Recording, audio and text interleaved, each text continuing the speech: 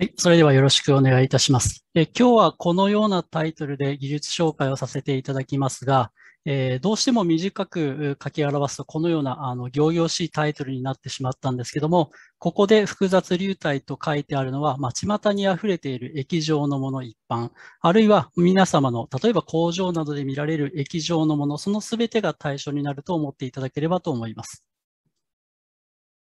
えー、まあ、物質の特性に関しましては、ここに書いてあるような科学的、まあ、生理学的な機能性というのが、えー、一般的に重要視されますが、例えばその生産工程では、えー、力学的な機能性というのも重要になります。えー、例えば、えその中でも、非ニュートン粘性といった、例えば、あ歯磨き粉などに見られるような非常に難しい流動をするもの、えその中には粘弾性なども含まれ、えそれらを総称してレオロジー物性と呼ばれます。でこれらには、え材料の成分、あるいは微細な構造の変化、ここにも含まれている科学的な変化が含まれておりまして、このような力学的性能をレオロジー物性として評価するということは、このような科学的生理学的機能性を評価するということにもつながります。で、どういうところに応用されるかというと、例えば、え材料の機能性や化学反応の進展をこのような物性値として表そう。えー、嚥下障害や食べやすさの評価にもこのような物性値が効いてきます。えー、先ほどお話ししましたように、加工や生産、調理の品質評価、えー、自然素材の成分ばらつきなどもこのような物性評価で表すことが可能かもしれません。えまた、え企業の方とはあんまり関係ないかもしれませんけども、例えば土石土石流、乱泥流、火砕流のような自然現象、大規模自然現象をシミュレートする場合に、このような物性値を入れて計算する必要があり、そのような自然現象の予測評価にも重要なものとなっています。えじゃあ、そのような物性値をどう測るかと。ハンドブックに載っているようなものはいいんですけども、え一般的にはそのようなものはありませんので、えこういったあレオメーターと呼ばれる試験機にかけて調べる必要があります。えこれはアントン・パーシャのあのものを写真として載せさせていただきましたけども、えこの部分拡大すると円盤状のもの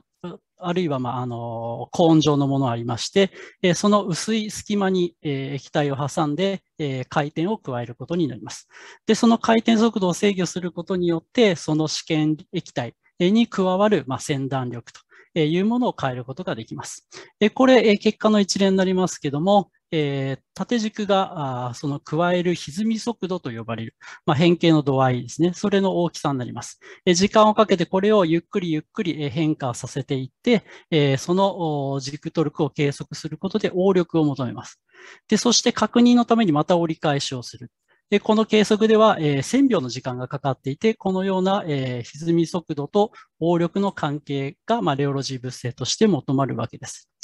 しかし、このようにきれいに物性が計測されるのは、まあ、ごくわずかでして、皆様もご経験あるかもしれませんが、ちょっとおかしな結果が得られたというのはよく聞く話です。で、それがどういう条件で生じるかというと、例えば、え、このようなあの計測器、え、方法ですと、え、薄い流体層にま変形を加えて、その中の速度分布があ一定の傾きを持っているということがえー、仮定されています。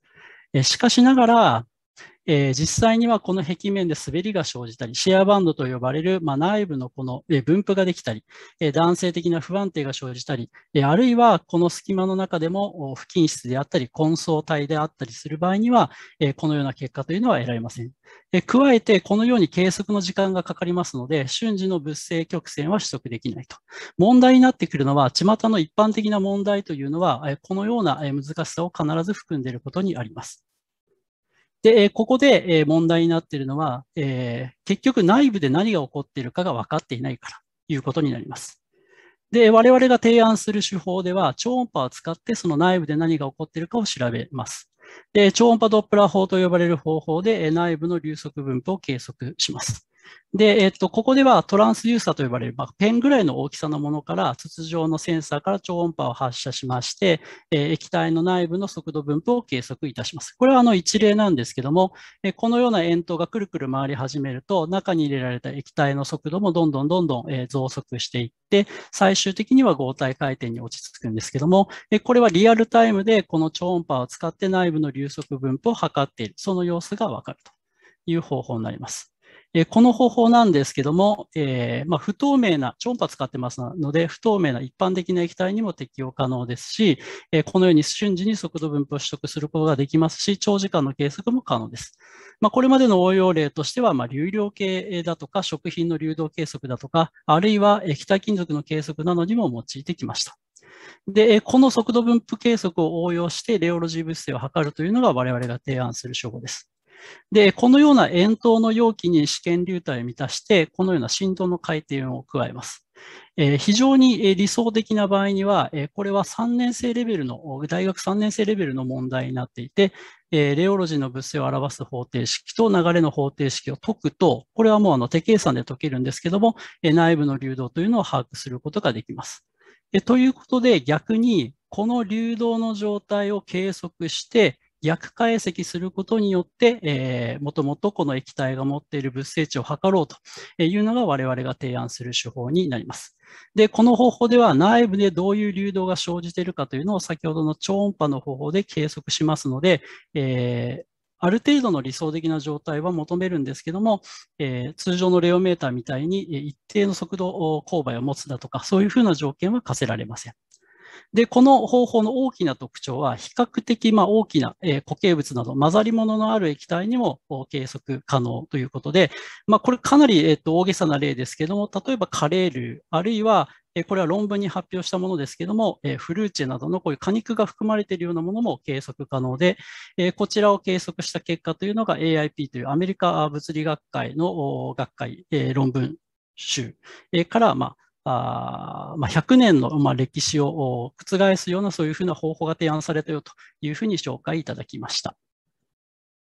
で、いくつか、えー、この方法で得られる結果を紹介させていただきたいと思います。ここではあえて通常のレオメーターでは測れそうもないものを選んで、え、紹介させていただきます。え、まず一つ目は水と油の混合液でして、え、通常もっと小さいエマルジョンにしたら分離しないんですけども、水と油の混合物を、まあ、荒っぽくかき混ぜることによって、え、時間が経つと水と油分離するようなそういう状態を作ります。え、この中では、えーと、油に対して、ま、水を少なめに入れてるんですけども、え、水の方が重いですので時間経過とともに、え、水の層が下に出来上がります。でこの中で油の層の中の水の大きさというのがだいたい0.1から 1mm 程度になります。で、各半直後は、まあ、おおよそ均一に混ざっているんですけども、時間が経つと、分離していきます。で、ここではこの赤い線の部分に先ほどの超音波のセンサーを設置しまして、時間が経つごとに今測っている対象が変わります。最初は水油のまあ比較的一応に混ざった混合体なんですけども、どんどん油、水の部分が抜けていきまして、最後には、えー、単純な油のみの層になります。えーまあ、期待するのは最初は、混合液体としての混層流の計測結果が得られて、最終的には、基地の油の物性が得られるということになります。で、実験の流れなんですけども、まあ、攪拌して15分ほど、まあ、大きいあの粒々もありますので、それが抜けるのを待って、えー、静止して、え、振動させて計測、振動させて計測というのを、まあ、長い時間、え、行いました。で、得られた結果なんですけども、まあ、この上は速度分布でして、ここからはすぐには違いはわからないんですけども、その下が、各時刻で得られた、え年度曲線になります。で、左から右に、時間が経過していて、右側ですと、先ほどのこの図で1000分経っている。もう完全に水と油が分離した状態になっています。で、横軸が歪み速度で、縦軸が実行年度になっています。で、えっと、この黒い点が計測結果なんですけども、ある程度の時間計測をして平均を取っているのでエラーバーもついています。で、赤い線がパワーローと呼ばれるべき乗速で、フィッティングをかけたもので、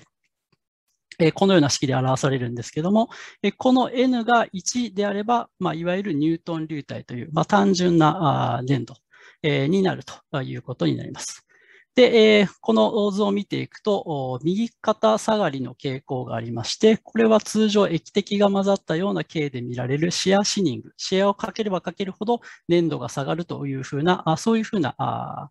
状態を定量的に表していることになります。で、この曲線なんですけども、時間が経つごとにつれて、こういうふうに変化していきまして、最終的には歪み速度の値に依存しないような、ニュートン流体、値も1.01と1に非常に近い値をとっていると。えこのような、あまず一つは混層流体の計測がま可能であるということえ。そして、え時間とともに変化するようなものも計測できるよということで、この方法のま優位点を表す結果になっています。続きまして、もっとアドバンスドな話ですけども、食べやすさの評価というのに挑戦してみました。え物を食べるというプロセスというのは咀嚼と園芸がありますけども、咀嚼の中で重要なのは繰り返し洗断を食べ物に与える。そして唾液と混合する。園芸というのは飲み込むことによって、まあ、洗断変形を与えると。いうふうなプロセスになります。で、これを我々の方法で、落とし込んで考えると、えー、ま、繰り返し洗断というのは塩糖をこう、することによってずっと加えられていますし、えー、消化酵素を添加することによって唾液の混合を模擬できます。でそして、この瞬時の粘土曲線、先ほどとのお話のように、瞬時の粘土曲線というのを計測できますので、えー、繰り返し洗断がかかっている状況でのレオロジー物性というのを評価可能になります。で、挑戦したのは、えおかゆの計測になります。えー、まあ、そこで、えー、さらに、えー、とろみ調整剤といって、えー、通常の嚥下障害がある方に使われるような、そういうとろみを加える食品というのを加えました。えー、さらに消化酵素を加えて、その影響を調べる。で、この、いわゆる嚥下食に求められる機能というのは、咀嚼時にはある程度まとまってくれないと困る。これは誤嚥防止になります。で、嚥下時には粘度が低下してくれないと困る。さっと、えー、流れてくれないと困るということになります。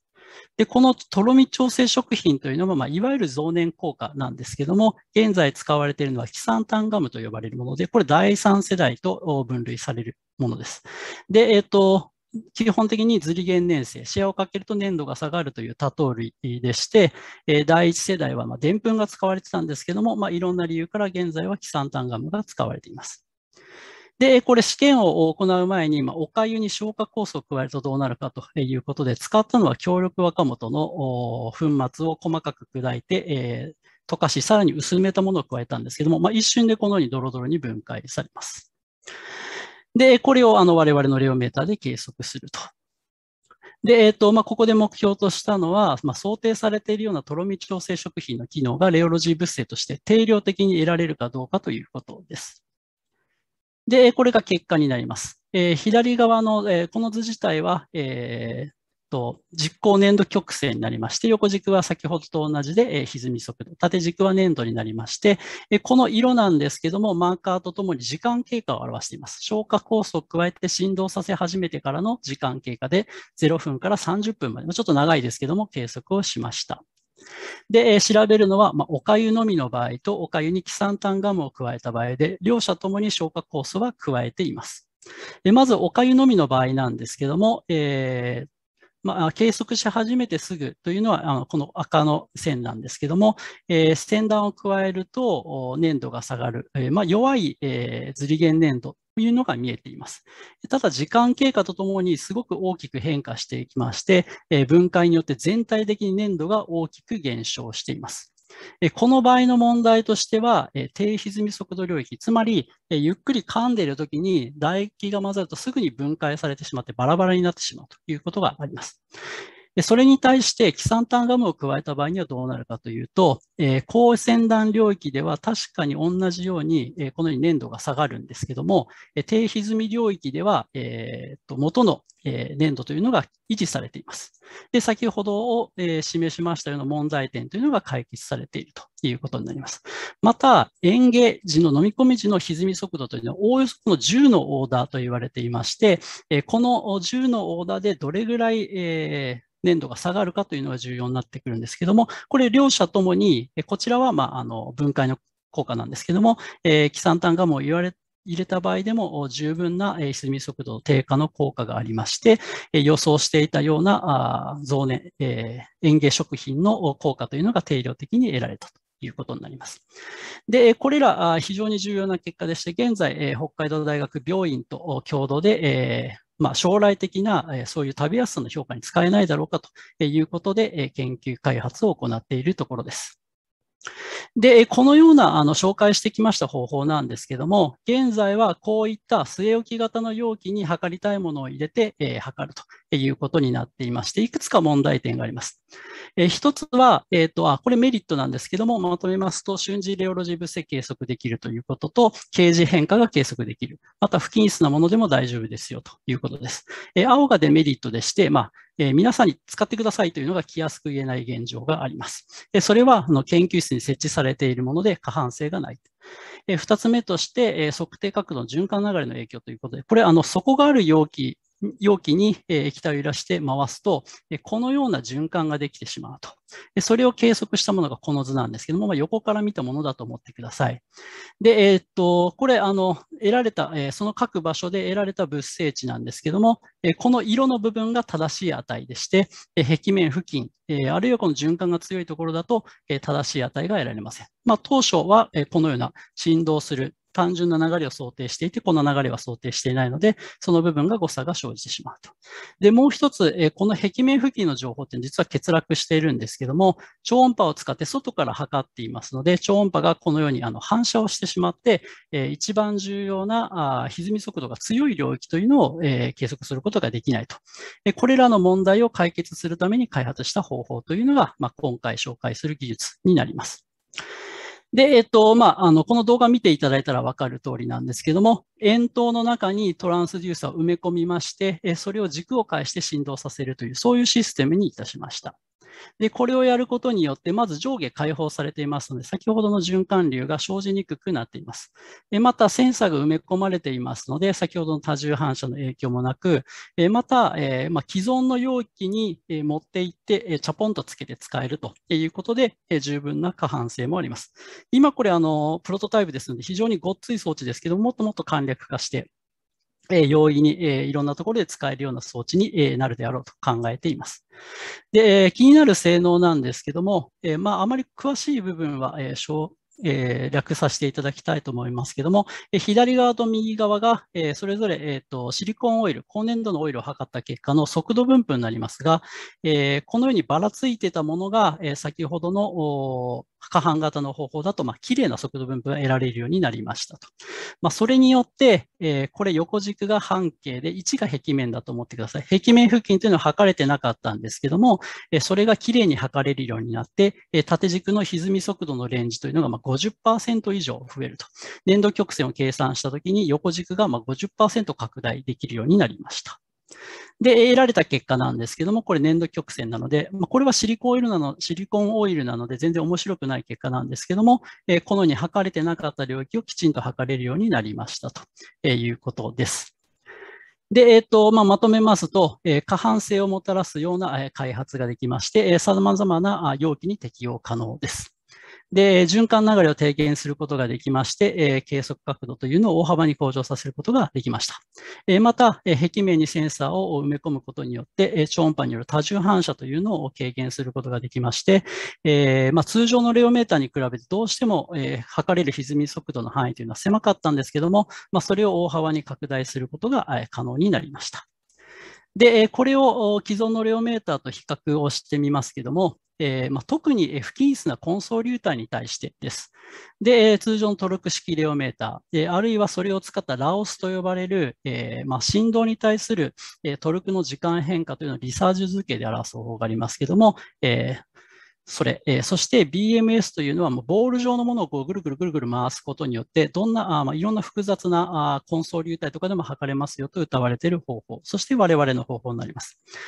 で、この中でトルク式レオメーターだとかラオスだとか通常の技術を使っている方法というのは、やはり内部の流動というのを把握できないので、えー、なかなか測れません。そしてこの BMS という方法は測れるんですけども、じゃあ得られた値が、えー、この他の方法と比べることができないと いう問題点を抱えています。まあ、それらに対して基本的に我々の方法ではコンソ流体、不均質流体を対象としていますので、えー、問題をクリアしています。えー、測れる範囲なんですけども、え、通常のレオメーターでは、まあ、我々が、えいうところの中高粘土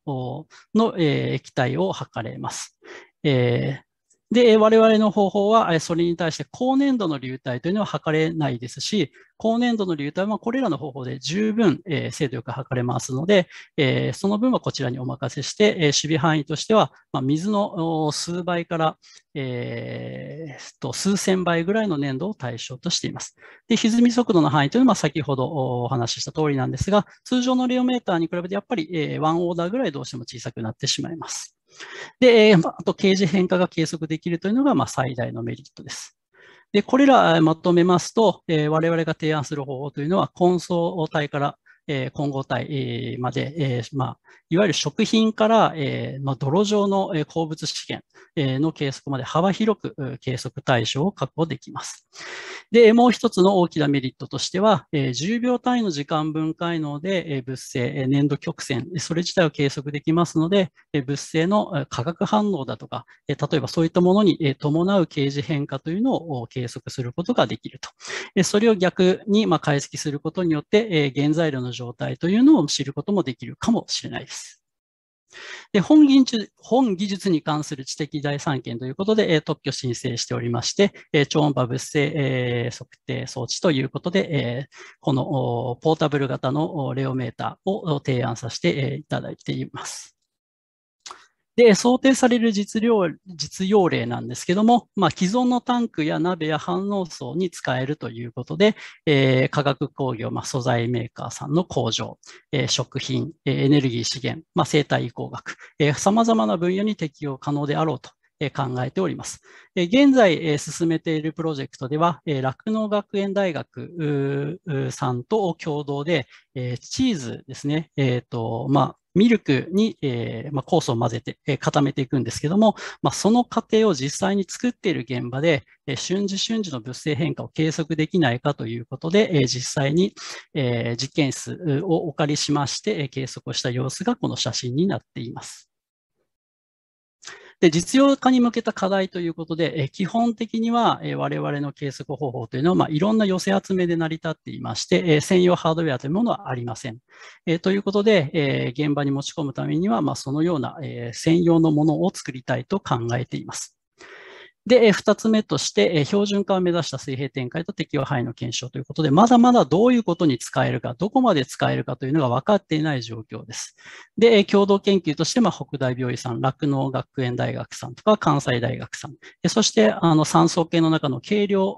標準総合センターの研究員の方とも、共同研究を行っていまして、まあ、あの、できることというのをまずはっきりしておきたいということで、進めています。将来的には、既存のレオメーターと双方的な機器、まあ、我々の方法が全部いいというわけではなくて、既存のレオメーターでできない部分を我々の部分で補うよというふうな使い方ができる機器として標準化を目指しています。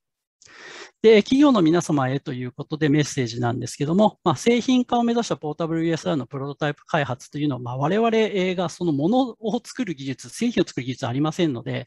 その技術面での参画を希望いたしますと。そういうふうなものを作りたいという方がいらっしゃいましたら、ぜひご一報いただければと思います。